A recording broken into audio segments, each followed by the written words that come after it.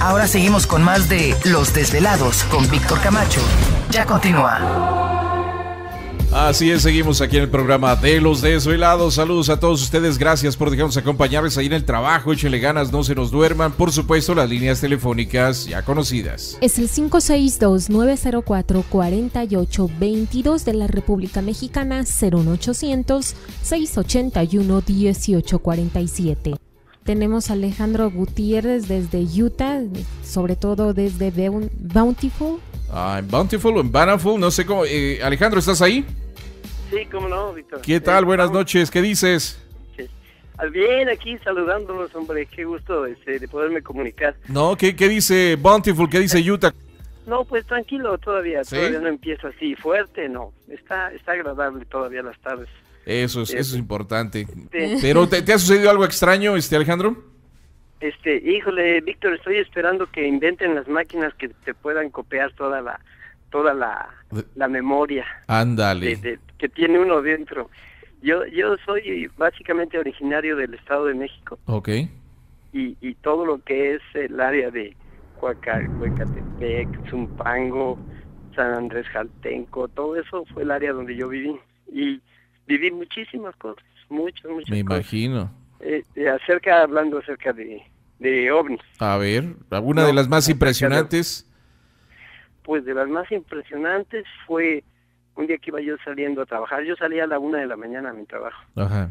Y esa vez este, vi venir una, una luz a lo lejos, abrí el portón y pensé que era un avión. Y, y ya cuando se fue acercando me di cuenta que no era un avión.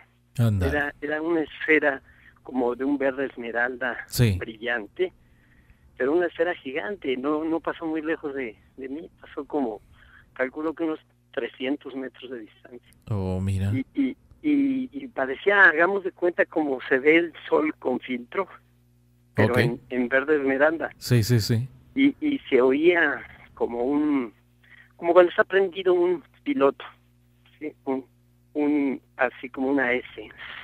Oh, Se oía como estuviera prendido, ni fuera quemando algo. Sí, sí, sí. Pero no, no quemaba nada, simplemente era brillante. Hmm. Y pasó despacio, desde, venía desde el lado, del lado norte. Sí. Y se fue hacia la Ciudad de México. Y, y se, yo esperé hasta que se perdió.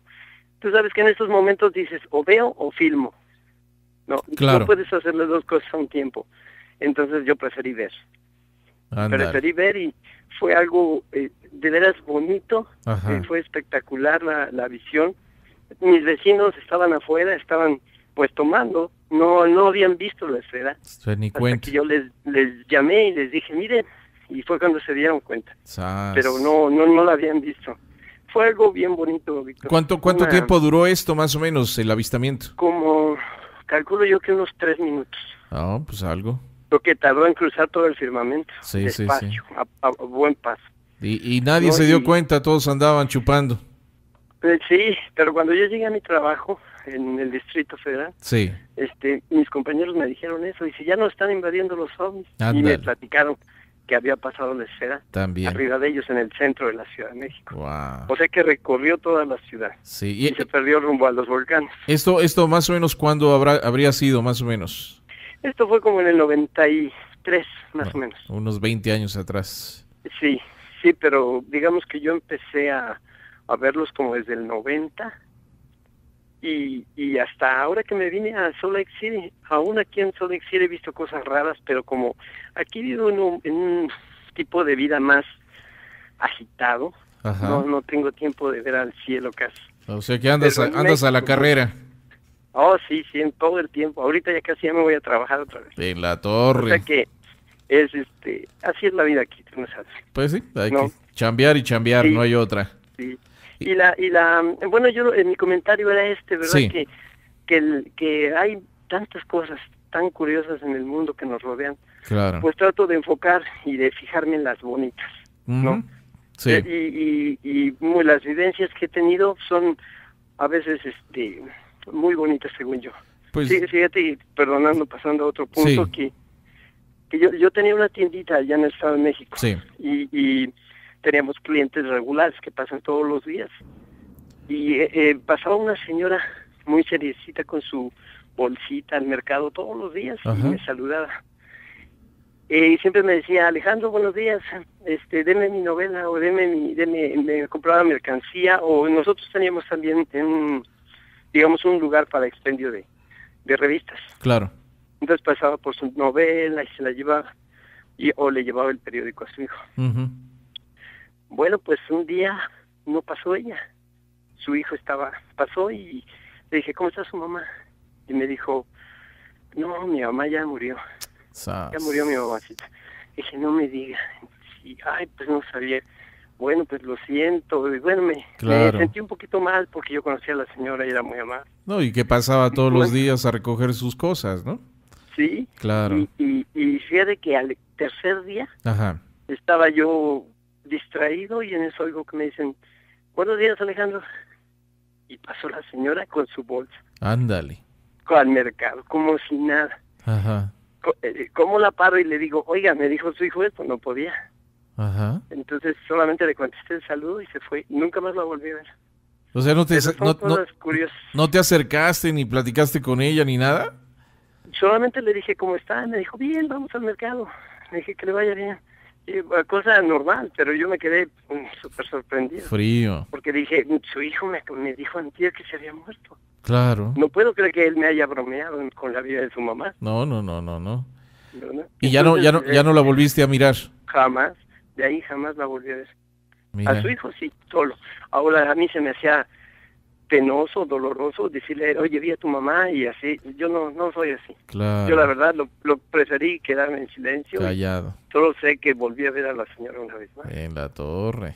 ¿no? Son, son cosas extraordinarias que uno pues no comprende. ¿verdad? Claro. ¿Y, y la viste porque- normal? ¿Le, le viste algún cambio o, o era la misma No, que no, conocías? vestida como siempre. Sí, no, no, igualita. Más pálida o no sé, No. diría uno, bueno, pues de- debe de haber algún cambio, ¿no? No, nada. No, no, no, exactamente igual. Sas. Entonces, este, pues bueno, me quedaba siempre en ese, en el recuerdo. Yo le decía a la señora del 8 porque vivía en un edificio 8. Ajá. Pues ya tendré el recuerdo de la señora del 8. La siempre. señora del 8 que pasó a saludarte después de muerta. Sí. Mira. Así es que, pues te decía que quisiera yo tener una máquina para sacar todo lo que viví desde que tuve, Claro. no sé, 15 años de edad. Pues ahí, Hasta ahorita han sido muchos. pues ahí poco a poquito nos vas comentando algunas otras experiencias que, que hayas tenido, Alejandro, porque pues siempre se pasan cosas raras, ¿no? A veces se encuentra explicación, a veces no hay una explicación como esta, pero, pero pues de que suceden, suceden, ¿no? Así es, así es. De y que- pues solamente hay que vivirlas. Claro, claro, digo, pues es parte de las experiencias que tiene uno en la vida. Y, y te digo, a veces hay gente que se pasa la vida tratando de buscar respuestas a, a lo que ha vivido, lo que ha visto, pero a veces no hay respuesta, simplemente es el hecho de haber vivido una experiencia, ¿no? Sí, sí, o como la, la- la de los ovnis, ¿no? Que si, si lo empiezas a comentar, eh, bueno, antes te tomaban como loco, antes del 91 te tomaban como que estabas loco. Sí, Decían, decían, este cuate ya le falla de cuál fuma, sí, sí, sí. pero sí. ya, ahora ya lo creen. Bueno, Yo, yo la verdad ya, ya no platicaba de eso porque sentía que se burlaban. Bueno, pues ya, ya ves, ya ves, siempre suceden así las cosas. Pues Alejandro, un saludo para ti allá en el estado de Utah, síguenos escuchando y cualquier cosa, pues nos eches un telefonazo, aquí estamos. Claro que sí, Víctor. Que estén bien, que tengan bonita noche. Yo te agradezco muchísimo por participar y ser parte de, de lo que es la familia de los desvelados y enviamos un saludo a nuestros desvelados precisamente allá en el estado de Utah. Les enviamos un saludo muy especial.